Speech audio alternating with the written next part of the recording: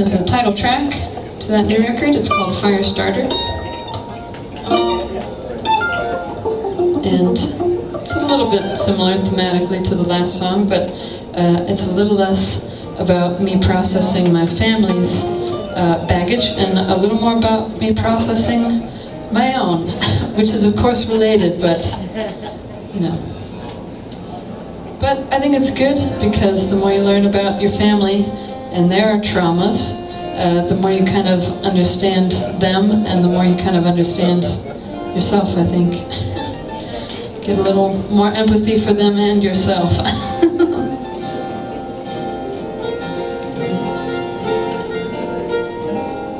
and you get a record out of it too. It's pretty cool.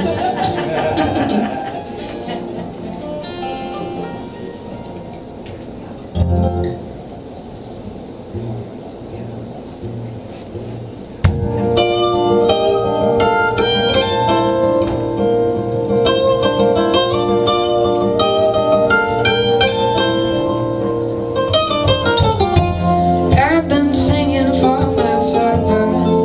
So